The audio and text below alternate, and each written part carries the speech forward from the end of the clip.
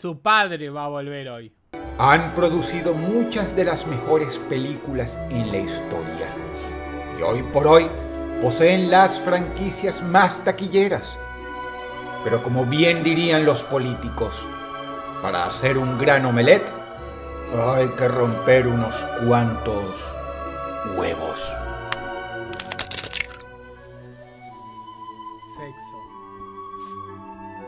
Disney ha cambiado de ideología política muchas veces. Y si bien cada persona o cada empresa tiene derecho a cambiar, lo cierto es que esta megacorporación ha hecho de sus valores una puerta giratoria lo cual hace que sus más recientes convicciones sociales se sientan más falsas que amor de suegra. Algo que a muchos ingenuos les cuesta entender es que Disney piensa con la billetera y este video pondrá en evidencia los episodios más escabrosos de esta realidad. Lo que vas a ver a continuación es un top en el que pondremos en evidencia las más increíbles y más desvergonzadísimas, siete polémicas, pero también hipocresías más grandes de Disney.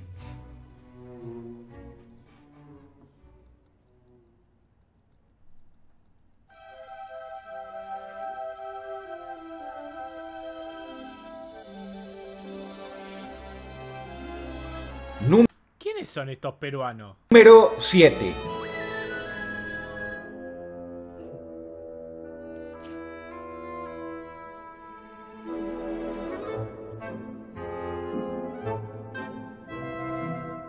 Por supuesto que Disney no se ha privado de meter las manos en temas vigentes, temas que les hagan ganar puntos en redes sociales. Pero cuando llega la hora de hacer dinero o cuando llegan situaciones en que, mejor dicho... Darkimura, muchas gracias por los cinco meses. Darkimura 1997 Just Resubed for 5 months. Se corre peligro de no hacer tanto dinero. Disney muestra sus verdaderas prioridades. Guerra de las Galaxias es una de las franquicias más grandes del mundo.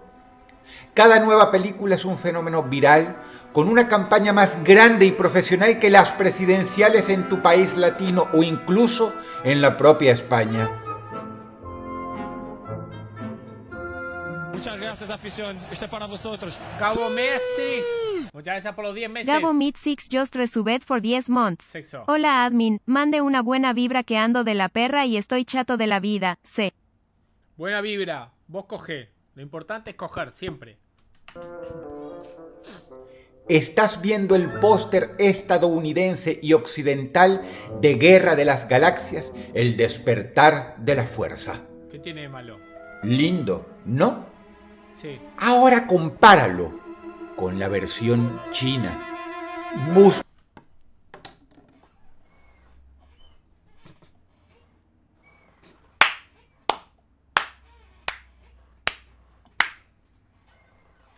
Una monedita para el reseñas que tiene que mantener a su familia. Saludes admin 5 meses al lado del mejor. Muchas gracias, Darkimura. Gracias por los 5 meses. Hijo de puta. Son una basura, amigo. busca las diferencias.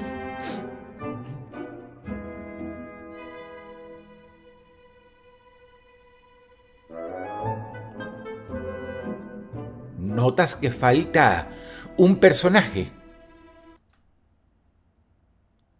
Ah, no está Chubaca. ¿Dónde está Chubaca?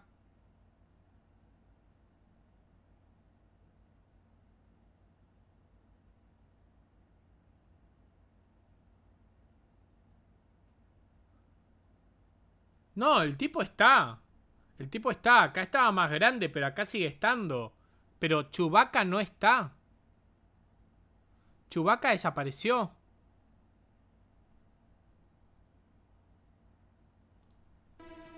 Oh, sí. El personaje de Finn aparece mucho más pequeño, casi de hecho imperceptible. Hay que tener cuidado con lo que se dice a partir de acá, porque nadie quiere insinuar que los chinos son racistas. Pero tal vez la gente en ese país no está acostumbrada a ver a tanta gente de piel negra y eso preocupó a Disney. Lo suficiente para que decidieran dejar al personaje negro casi escondido. Por supuesto, la gente más inteligente en redes sociales notó estos detalles y lo hicieron ver. La cuestión llegó tan lejos que apareció incluso criticado en la prensa.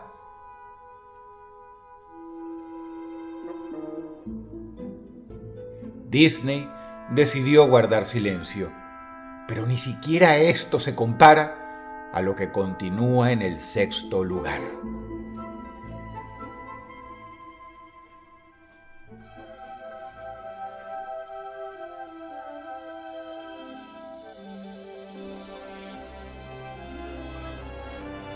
Gallina. Número 6. Chinito.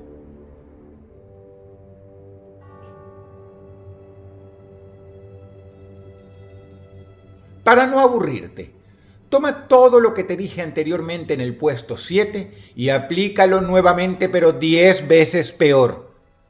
Ay, El curro que hizo claro. Disney con la película de Black Panther Sí, fue Panther. increíble. Fue tal vez primera vez en la historia que a una película se le intentó convertir en algo revolucionario, casi mesiánico.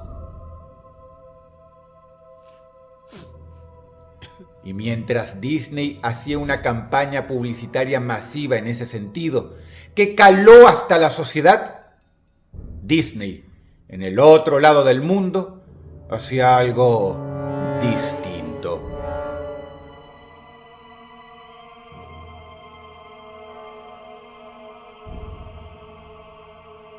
En la capital china, donde está la parte de la población más abierta y sofisticada, Mauri, muchas gracias por los dos meses. Mauri 25.555 just resubed for dos months. ¿Cómo que se Merca. viene?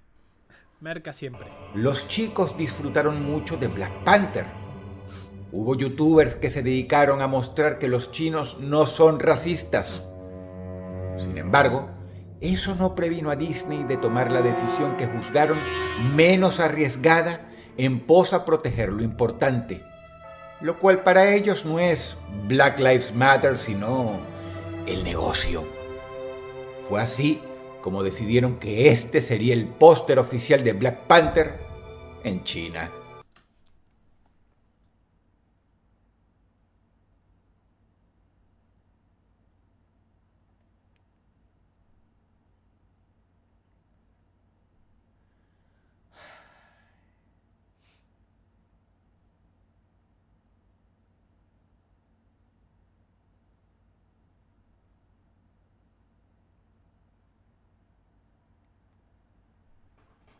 Curioso, ¿no les parece?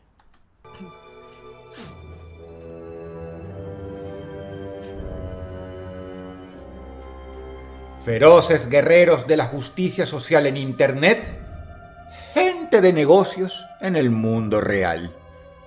Número 6.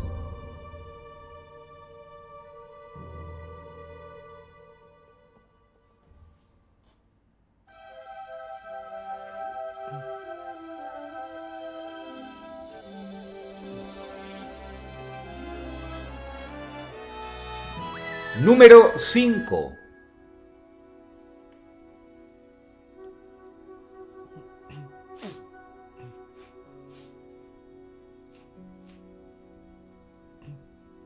La Casa de los Búhos fue una animación maravillosa que trataba sobre una niña que accidentalmente cae del mundo real para meterse en una tierra paralela mágica.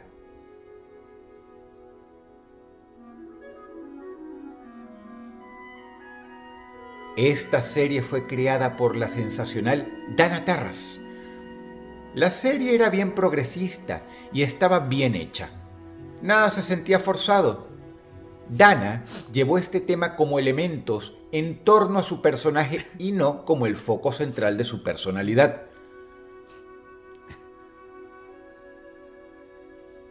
Y en determinado punto sustentado por toda una historia, ocurre esta linda escena. ¡No! ¡Saquen! No puedo ver eso. Pierdo mis poderes. Mis poderes de anti-LGBT. No, ya acabó el mes de junio. No. No, saquen. Saquen, no.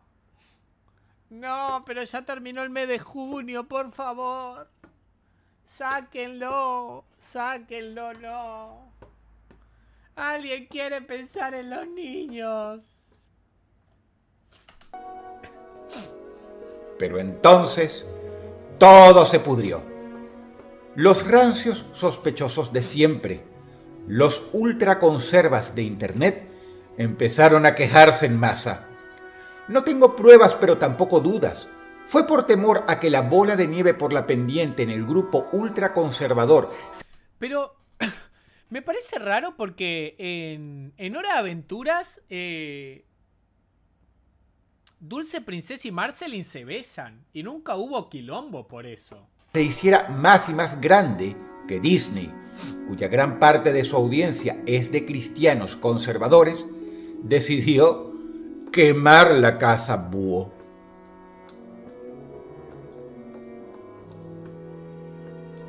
Y no conforme con eso, el estudio entero responsable del show fue también embolsillado para que no hicieran mucho ruido cuando empezaran a quejarse, dejando además a un cast muy diverso de actores sin trabajo de un momento para el otro. Porque cuando algo está bien hecho se aplaude. Obviamente el defensor promedio de Disney dirá que la serie fue suspendida porque no tenía rating. Pero durante una sesión de preguntas y respuestas por Reddit, no fue sino la mismísima Dana Terras la que puso punto final al debate. Todas las personas con criterio y cerebro, ya que hay que ser muy estúpido para enojarte defendiendo el honor de Disney, teníamos razón al pensar mal. Cito a nadie menos que Dana, la creadora del show.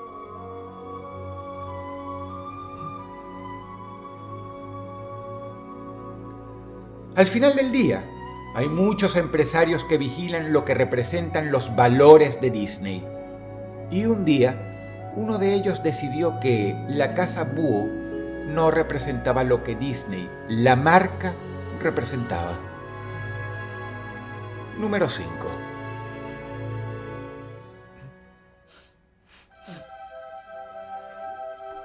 Sí, sí, pero Clarence es mejor.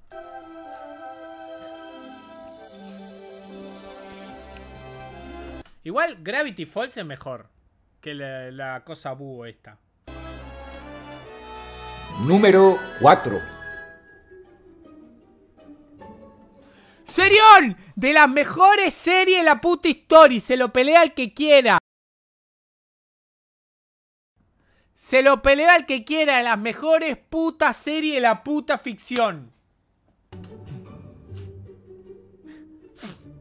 Un problema que ha de tener Disney frecuentemente es que, a menudo, se topa con artistas con carácter. Tal es el caso de Alex Hirsch. Mabe- Mabel es una mierda de personaje. Es estúpida. Wow, puteemos a un personaje de 10 años por actuar como una niña de 10 años. Bien.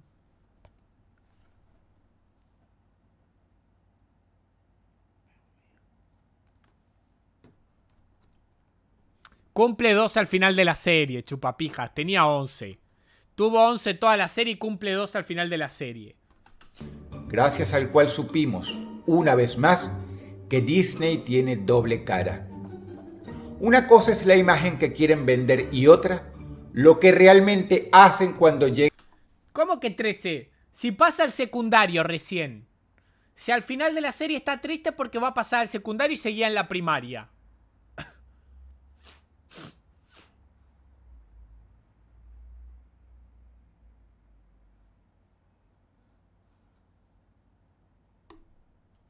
Llega la hora de los negocios.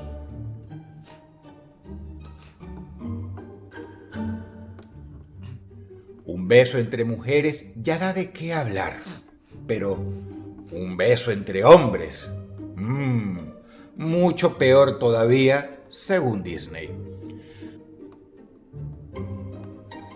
Alex Hirsch. Pero igual yo lo encontraba de forma. Esto lo hicieron de forma graciosa, no como algo de romántico. eh, Dipper se quería coger a, a, ¿Cómo se llamaba? A. A la colorada que trabajaba con él. ¿Cómo se llamaba? Hirsch, quien creó Gravity Falls, iba a incluir a dos personajes homosexuales. Quien haya visto Gravity Falls sabe que el show estaba sustentado por una historia estupenda. Cualquier inuendo a la comunidad LGTBI habría sido parte integral y normal de ese mundo y no un cartel enorme gritando, miren, somos cool, compren el merchandising.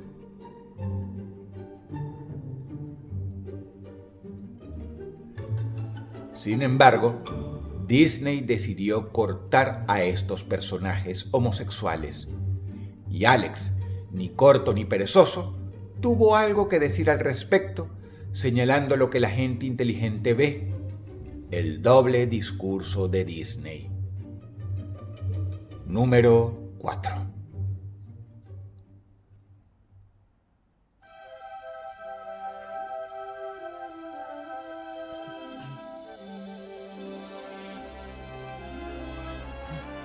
Número 3.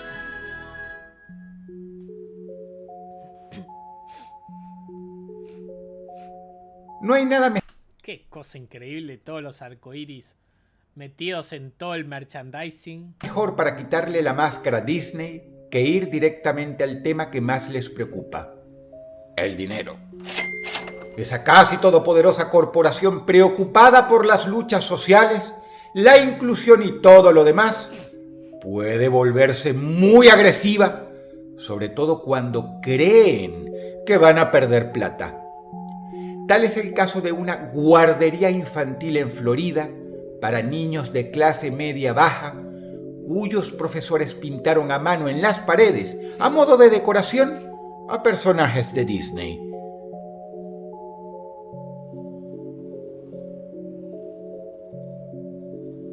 Cuando Disney se enteró de esto, amenazaron a la guardería con demandarlos hasta el último centavo si no borraban a sus personajes registrados con derecho de autor de las sucias paredes de esa guardería. Posteriormente se supo que Disney amenazó legalmente también a otras guarderías que, en su momento, pintaron personajes de Disney en sus paredes. Decirlo así suena hasta extraño. Uno pareciera que estuviera intentando manchar la reputación de Disney. Pero incluso el sitio Snopes confirmó esto, publicando detalles escabrosos de las amenazas legales que la megacorporación hizo. hijos de puta. Afortunadamente el estudio Universal aprovechó la situación para enviarle cartas a estas guarderías diciéndoles que podían utilizar a todos los personajes de su compañía. Un caso horrible, pero con final feliz. Número 3.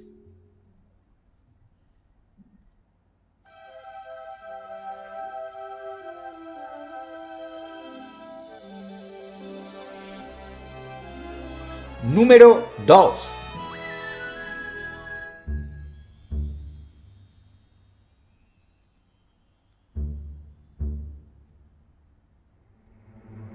Si bien lo que mora tan alto como el segundo lugar no toca temas de inclusión, lo cierto es que cuando hablamos de trabajadores, nos referimos no solo a heterosexuales, sino también a homosexuales, lesbianas, trans, etc.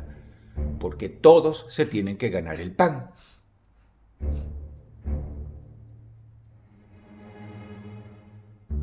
Durante muchas décadas, Disney prohibió a cualquier empleado mostrar el menor indicio de su condición sexual. Con esto eran súper estrictos. No podías tener nada encima, o estar peinado, o tener el pelo de un color que indicase absolutamente nada respecto a tu identidad. Yo algo que no entiendo. Y a ver. Está bien que me funen. Lo acepto. Pero voy a decir algo polémico. Voy a decir algo polémico.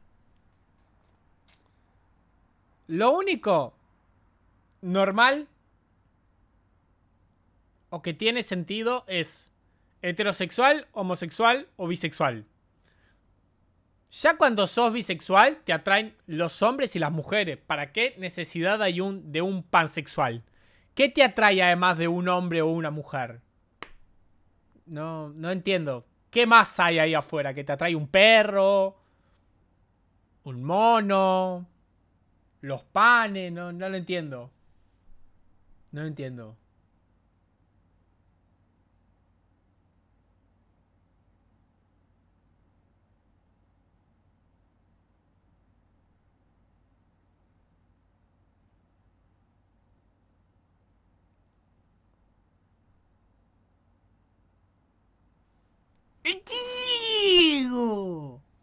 Yo soy bicho sexual. Obvio. Pero en serio no, no lo entiendo. Nunca, nunca entendería. Me, me gustaría hablar con una persona que, que se denomine pansexual y preguntarle ¿qué diferencia tenés vos con un bisexual? Supuestamente cualquier objeto animal o persona en pocas palabras si hay agujeros se entra.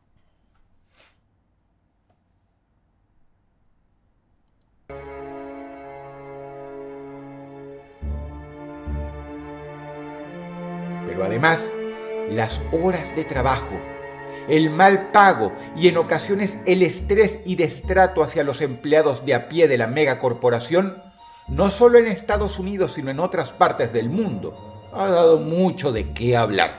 Sí, hay algo semi-bisexual, demisexual, eh, puto sexual, hay sexual de todo. En la vida son, son sexuales de todo, ¿ya? A mí me chupa un huevo. Cada uno que se meta en el culo lo que quiera, ¿no? ¿Quién soy yo para opinar de lo que cada uno se mete en el orto? Pero... no, no lo entiendo. Al punto que Abigail Disney, nieta de Roy Disney, cofundador de la compañía, Está bien la vieja, ¿ah? Está buena, ¿ah? ni más ni menos, ha salido a quejarse públicamente de las malas condiciones laborales de los empleados en el imperio Disney.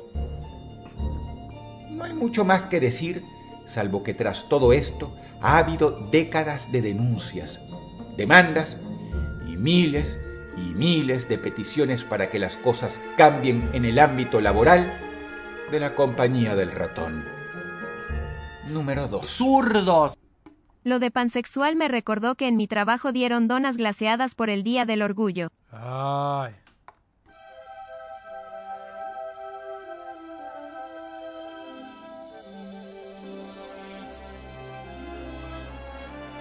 Número 1.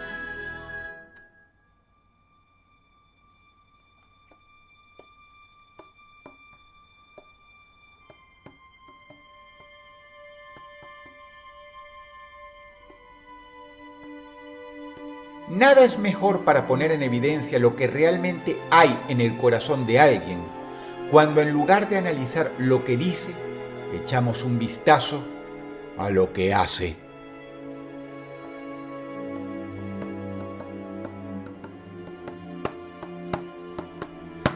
Estados Unidos hay una ley que fue catalogada por el público como no digas gay.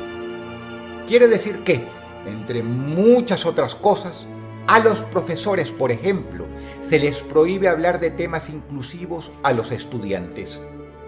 Esto levantó polémica porque fue visto como una manera más de que alienar tiene que mantener a su familia. En mi opinión nadie debería sentir orgullo por su sexualidad, simplemente basta con no sentir vergüenza. Pasado. ¿La verdad? ¿Qué quieres que te diga? No te puedo decir nada más. a gente gay y trans e impedir y o retrasar la inclusión de estas personas en la sociedad.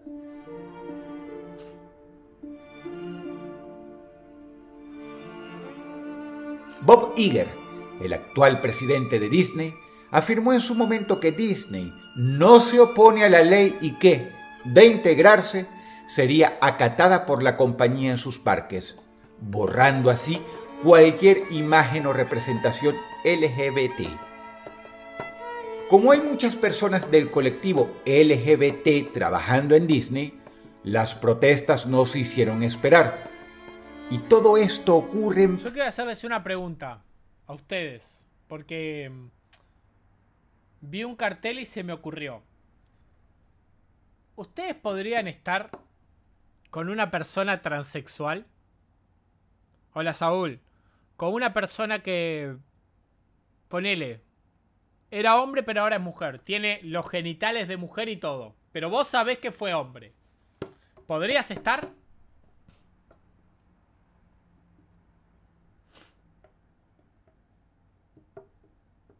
Ya hizo la transición completa.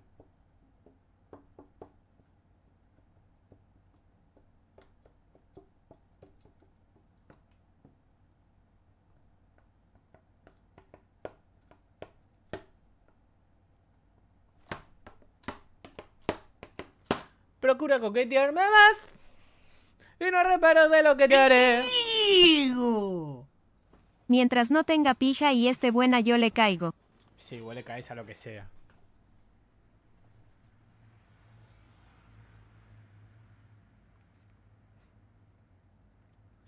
Cuando alguien nos quiera putear por...